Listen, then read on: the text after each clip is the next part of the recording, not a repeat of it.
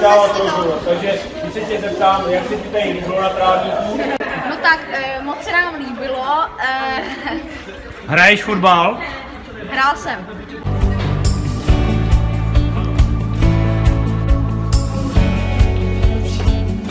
Dobrý den, vítejte na tiskové konferenci u příležitosti návštěvy dětí z příměstského tábora tady v Hradci Králové eh, na našem stadionu. Vítám tady Dominika, vítám tady Štěpána a poprosím je nejdřív Dominika o zhodnocení dnešní návštěvy. Jak se ti tady líbí? Jo, bylo to tady pěkný, mají tady uh, teda fakt super, to tady je.